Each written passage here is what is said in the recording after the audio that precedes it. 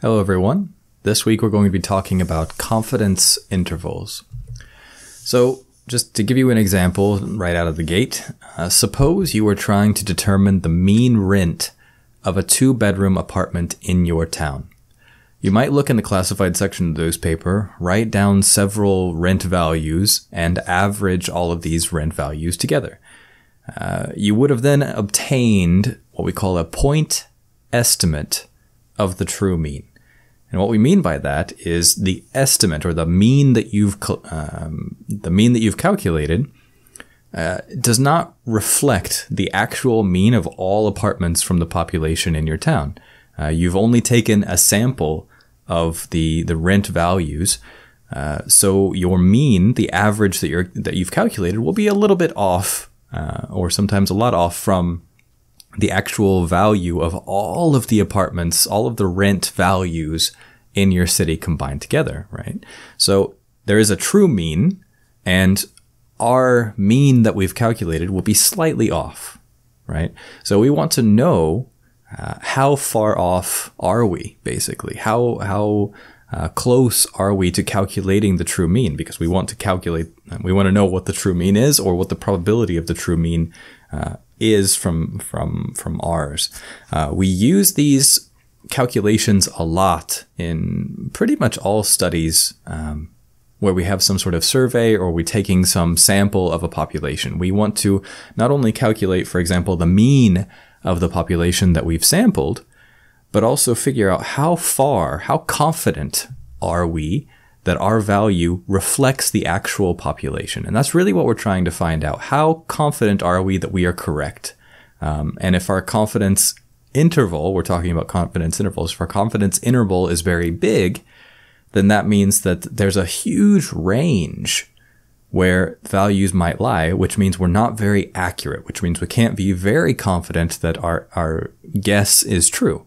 If our confidence interval is very uh, small, then we have a, a, shorter range in which we can say that our values fall within these particular ranges and our value hopefully is, is closer to the truth. So today we're talking about confidence intervals and we can um, basically use this to uh, uh, calculate how close our point estimates are because we're always calculating point estimates from the true mean whenever we can't uh, uh sample every um, object in a population, um, how close are we to the true mean? What's the likelihood that we fall a certain distance from the true mean? So it's very similar to using distributions like we did before.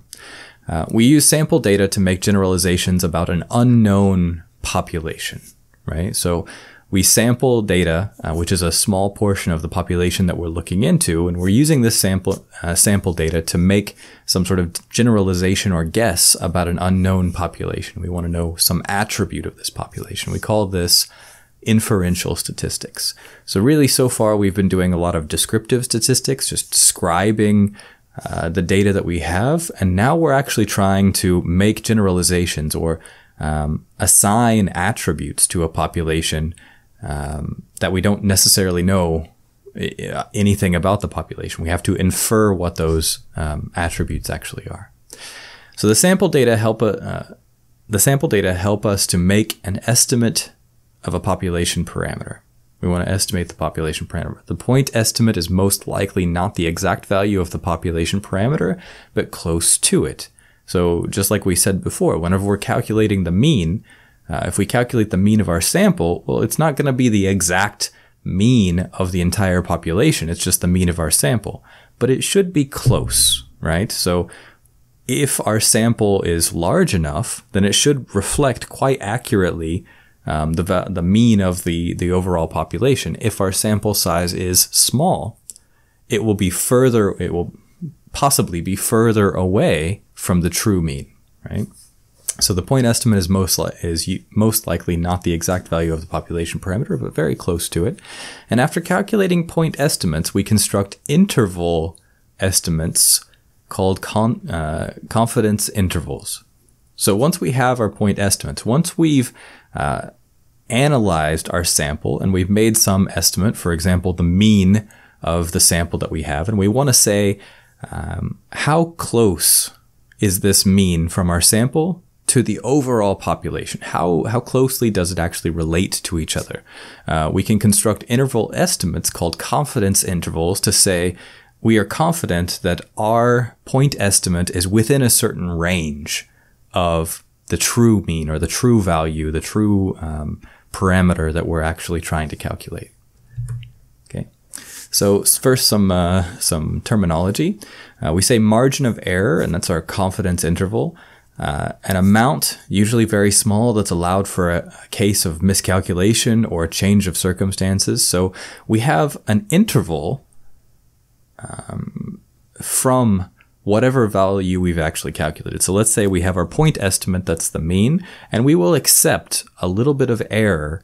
Um, if we had a graph, it would be to the left and to the right, a very small amount of error that we allow for miscalculation, change of circumstances, or um, just kind of some unknowns in our measurements that uh, that's we haven't uh, thought of or something like that, right? So we allow a little bit of error into our calculation just because um, our calculation is not going to be perfect. There's going to be a little bit of error pretty much anytime you, you measure something.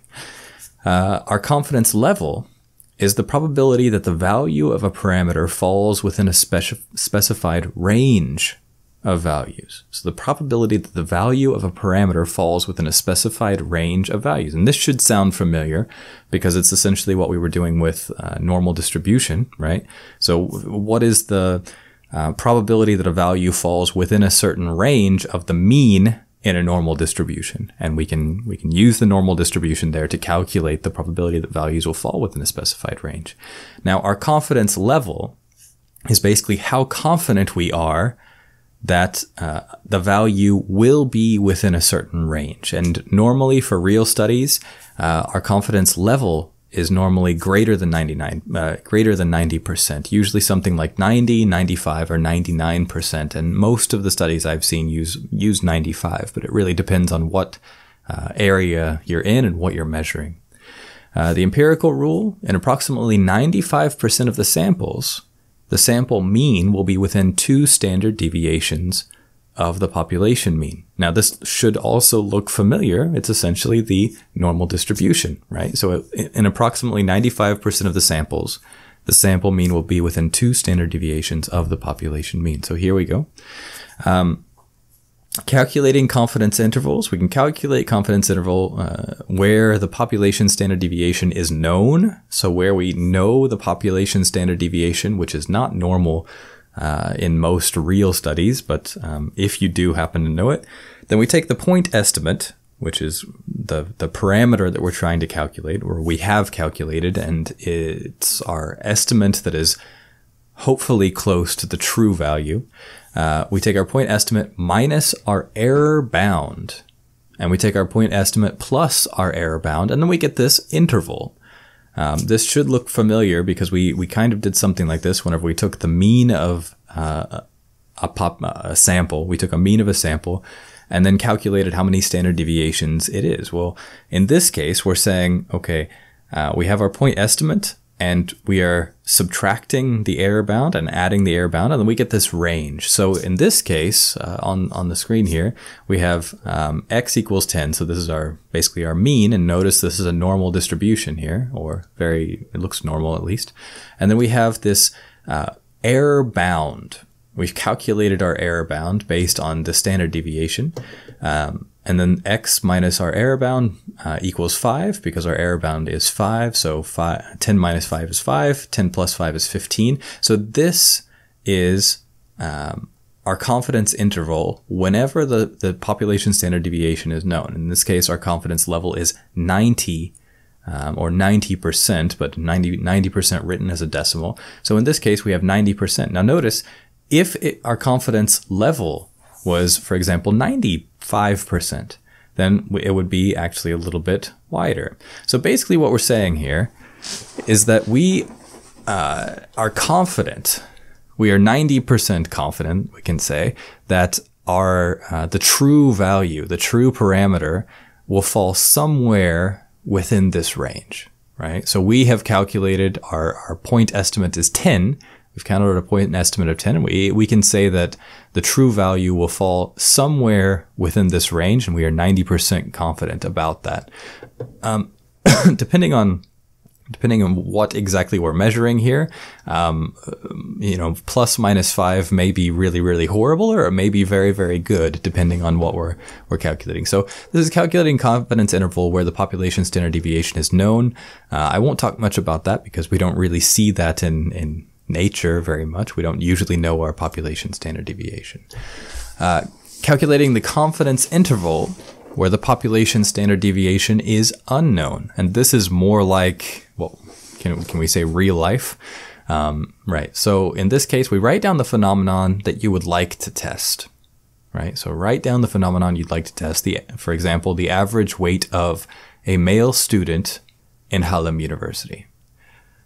Now, in this case, um, I, as soon as I wrote this, I already had problems with this statement because it's a little bit um, too vague for what I what I'm used to. In this case, the average weight of a male student in Hallym University.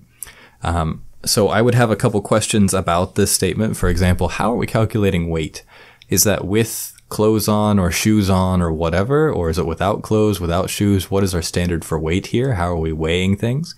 Is it just what people say they weigh or are we actually going to weigh them? Um, and then I would say male student, which seems very straightforward, but uh, are we actually doing, for example, a genetic test to figure out if they're male? Are we just um, taking uh, are we just taking people who claim that they're male? How do we actually find male uh, students in this case?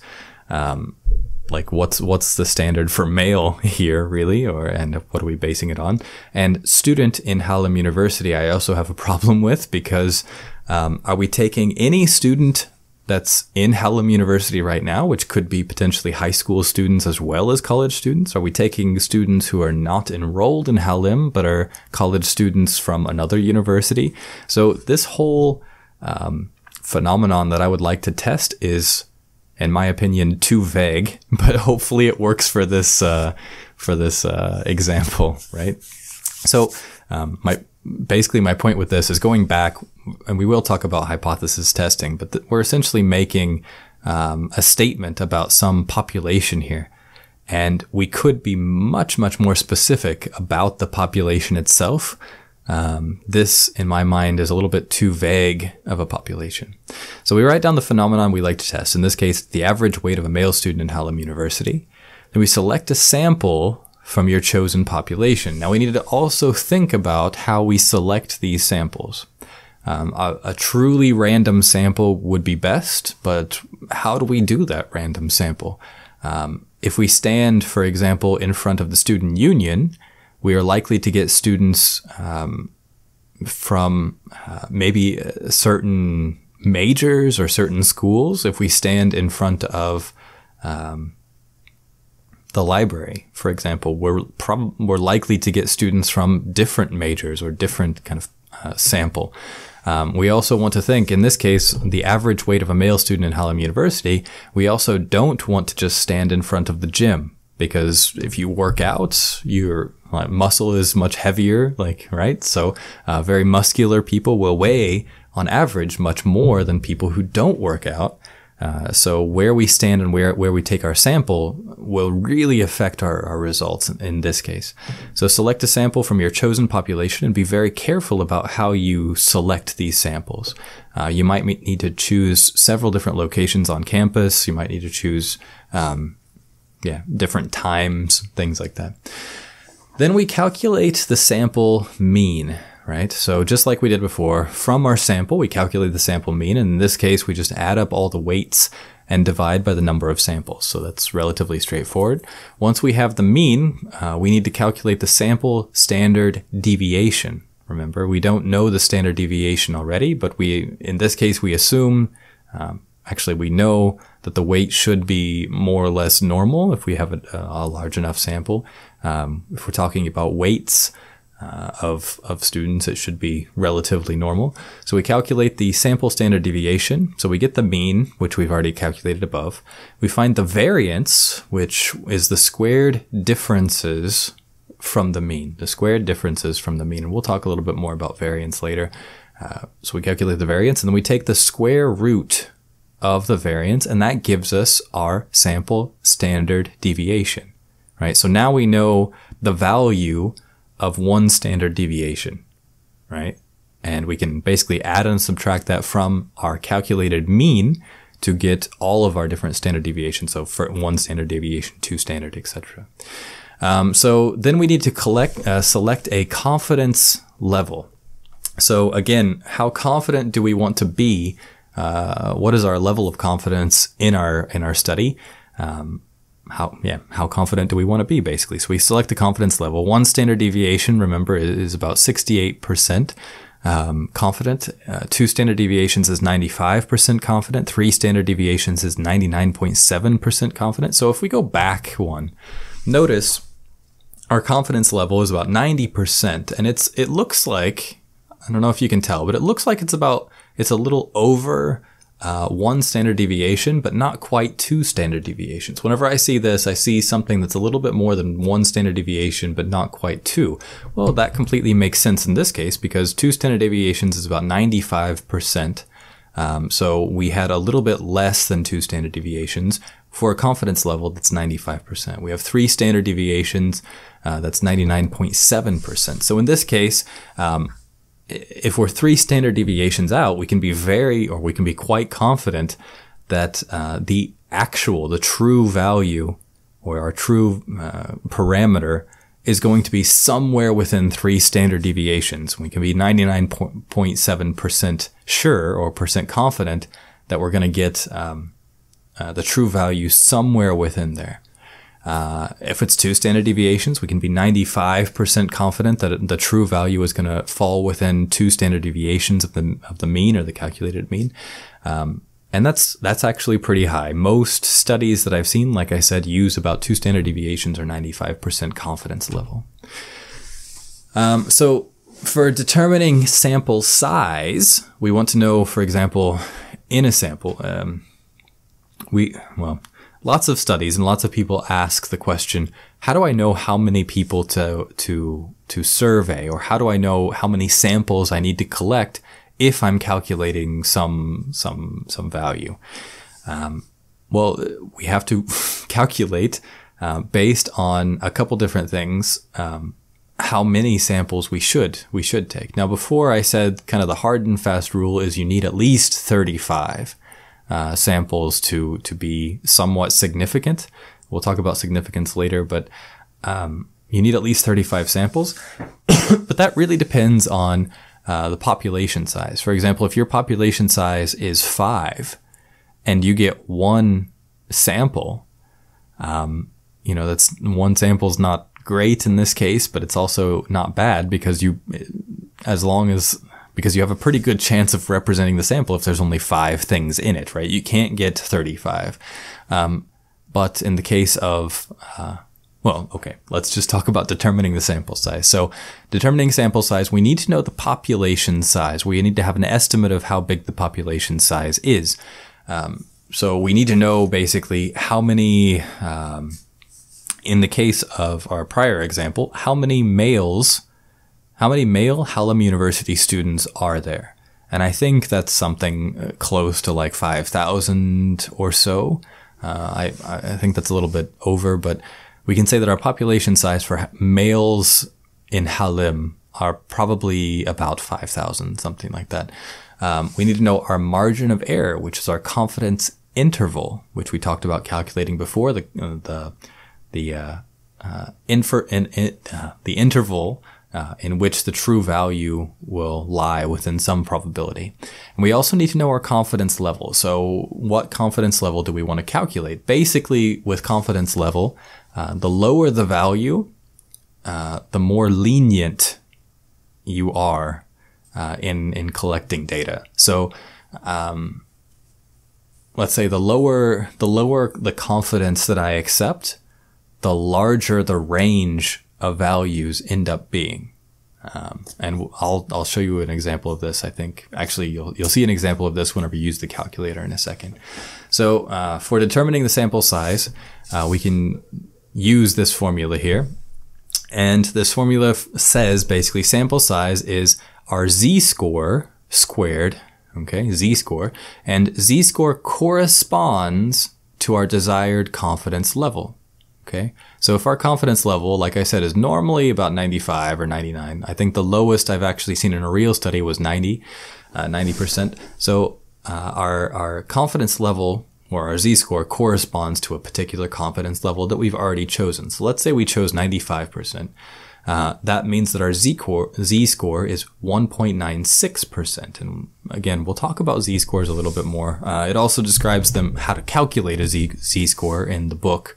Um, but uh, or we can just use this graph and it's just handy right now. Okay, so uh, z here is our z score. So we take z squared, our z score, z score squared, and then we take our standard deviation uh, times one minus the standard deviation, um, and then e is our margin of error squared. Okay, and that gives us the top value of this this formula. We take one plus z score squared, um, standard deviation times uh, 1 minus standard deviation uh, divided by uh, our margin of error squared times the population size. Okay, and that will give us our overall sample size. So essentially with, with population size, margin of error, and uh, confidence level, we can calculate how big a sample we need if we know the population size given some given some confidence level. Okay. So there's also a, a, handy little chart because, I mean, like I said, this is used in almost every study um, that's looking at some population. So uh, it's already been it's already been done for a confidence level 95% or 99%. And you can get these charts online as well. So um, they've already been calculated. We also, well, I'll show you something in a second. Okay. So um, whenever we're determining the sample size, just looking at this, uh, we have our confidence level here is 95% and 99%. We have our margin of error, how much error we're willing to have.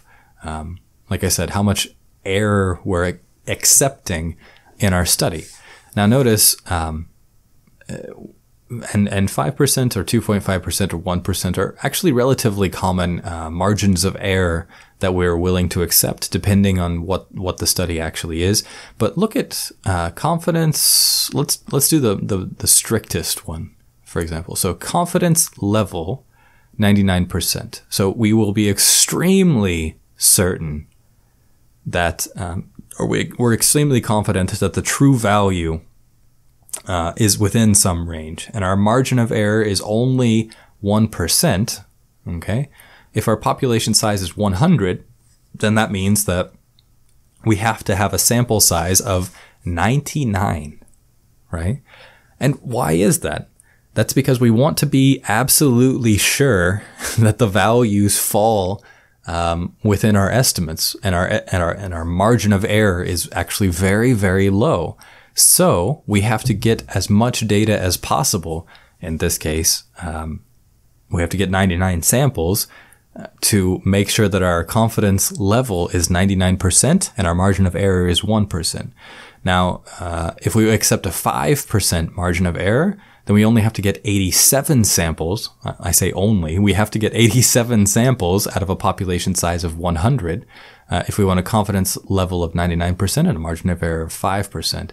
Now, looking over confidence level of 95%, where we are relaxing a little bit how confident we are, um, which actually means that we're uh, reducing the range, um, basically reducing reducing the range um, of values that we accept.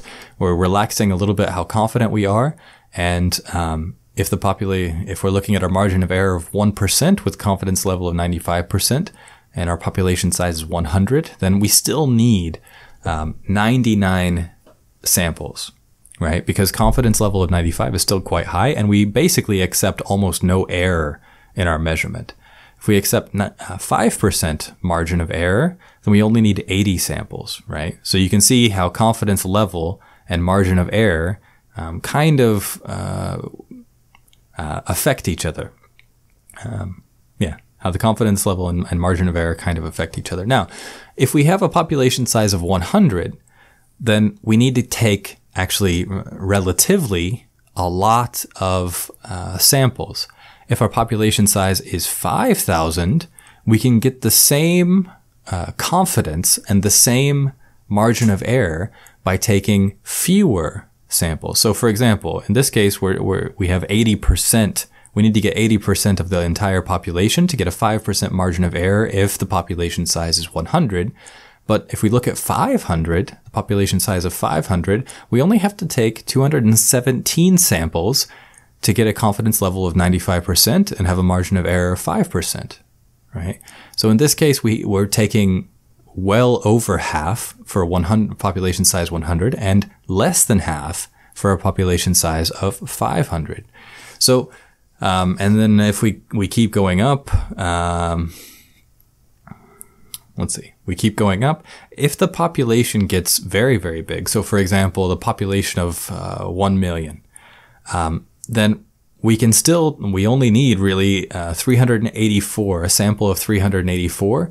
Um, uh, to get a, a, margin of error of 5% and a confidence level of 95%. And this is why we can do phone interviews um, of what seems like a relatively low number of people um, whenever a population is very large. So, for example, if somebody is doing a telephone interview um, looking at people in Seoul, um, and we want to describe something about the people of Seoul, well, we can still get a relatively uh, high confidence level and a relatively low uh, margin of error, um, even if we don't uh, interview a lot of people. Well, 384 is still going to be a very difficult amount of people to to contact and and actually have a reply to surveys or something like that. But um, we can still statistically uh, be relatively confident of our answer, even even with somewhat kind of low numbers. Now, if we look at confidence level 99%, margin of error 5%, um, we actually have almost double, well, not not quite double, but almost double the amount um, of uh, samples that we need to have a confidence level that's very high. Now, if we look at our margin of error, you notice that basically, uh, where are we? Yeah, our margin of error, if we want a very low margin of error, then we need a very large sample. And most surveys that I see that, that are sampling um, entire populations are not looking for a 1% margin of error. Um, so they don't sample nearly, uh, nearly close to like, for example, in this case, 10,000 people for a population of 1 million. Um, so just keep this in mind. There are these charts that can help you a little bit, but usually, um, usually we're collecting around, for example, a population size of 100, and a lot of people are cal- um, getting, you know, uh, 30, 30 samples from a population size of 100. And if that's the only samples you're getting, well, either your margin of error is going to be very large or your confidence error is going to be very small, right? So if your confidence error is very small and your margin of error is also small, um, then basically that says that uh, you're not very confident about your prediction. If your margin of error is very large, but your confidence error is also very large, then that says that you are accepting a huge range of error. You know that it's going to be somewhere in here. So basically, uh, in that case, they wouldn't have any predictive power. Uh, what this confidence uh, level and margin of error does is say, uh, we're going to reduce our level of error to a specified, very relatively small range, and I'm very confident that my date, that my true value is going to fall within that range. Right? If you start to increase that range, um, then you're not really making any predictions. You're just saying, well, our value is going to be somewhere within there and, and, has no predictive power at that point. So real studies tend to use confidence levels about 95% and margins of error maximum 5%. Okay. So all of this is a little bit, uh, can be complicated, um, especially if we want to figure out, for example, sample size. So I'd like you to go look at this sample size calculator um, at surveymonkey.com. Uh, it's a it's a very nice calculator. You can basically put in uh, the uh, size of the population and the confidence uh, level, confidence intervals that you want, and it will tell you how big your sample actually needs to be. Um, so it will do all these calculations for you. Um, yeah, so that's it. Uh, this is confidence intervals, and we will be working with them more this week. So that's it. Thank you very much.